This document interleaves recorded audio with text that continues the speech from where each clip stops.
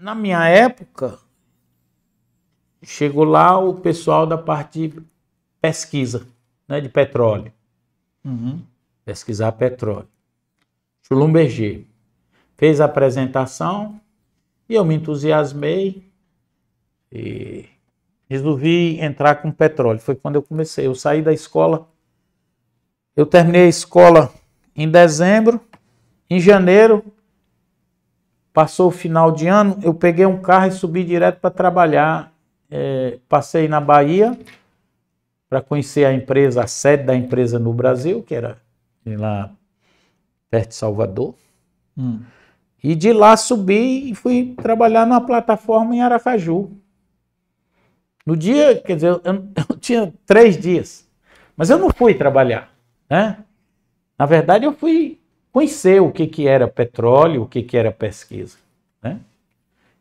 E lá, quando fui, ganhava bem demais, ganhava muito bem nessa época. Não sei hoje como é o mercado de petróleo, mas naquela época a gente ganhava dez vezes o salário de alguém que saísse para outro ramo, né?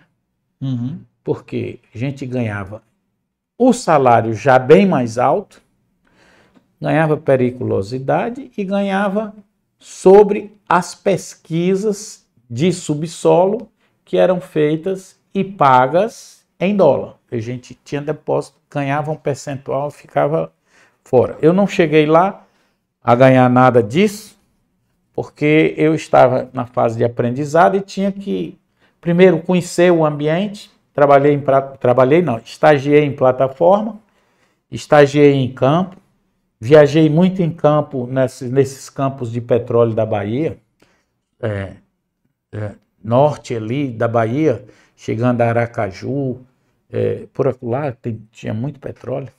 Hoje esse petróleo saiu do, do continente, está todo quase no mar e tem boas áreas lá.